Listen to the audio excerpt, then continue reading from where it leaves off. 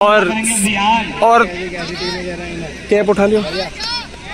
और अब मैच चलता हुआ सेकंड इनिंग पहली इनिंग चालू तीसरा राउंड का पहला मैच। और रिहान करेंगे सामना। और डॉट बॉल भाई।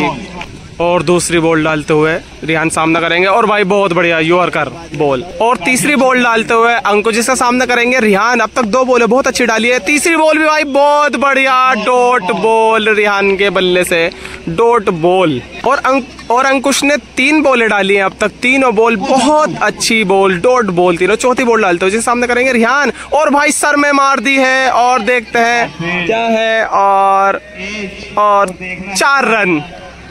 और एज लग के सर के ऊपर से सर भी इतना मज़बूत है, रिहान का कि चौके के बाहर पुचाइए अब तक चार बॉल डाली है अंकुश ने चार बॉल में एक चौका खाया है। और भाई, बहुत अच्छा स्लाइस और वन दो, तीन और चौका। पाँच बॉल में आठ रन रिहान के बल्ले से निकलते हुए। और लास्ट बॉल डालते हुए अंकुश और करेंगे रिहान सामना।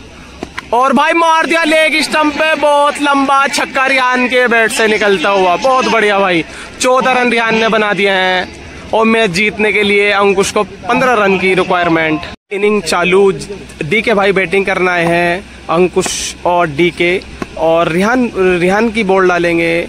शाहनवाज और पहली गेंद पे आते मार दिया भाई लेग स्टम्प का, बहुत तगड़ा छक्का डी के भाई के बल्ले से निकलता हुआ। पहली गेंद पे छक्का मार दिया, पंद्रह रन की रिक्वायरमेंट है और चार, पाँच बॉल में और मात्र अब दस रन की रिक्वायरमेंट और दूसरी बॉल डालते हुए शाहनवाज इसका सामना करेंगे। डी के भाई, बहुत तगड़े बल्लेबाज है डी के भाई।